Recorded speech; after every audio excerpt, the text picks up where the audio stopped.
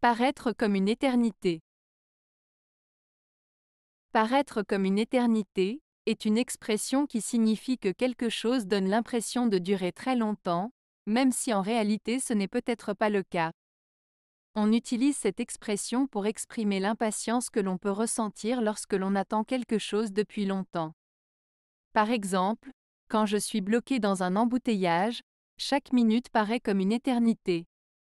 Attendre que le film commence peut parfois paraître comme une éternité, surtout si on a hâte de le voir. Pour les enfants, les dernières heures avant les vacances d'été peuvent sembler comme une éternité.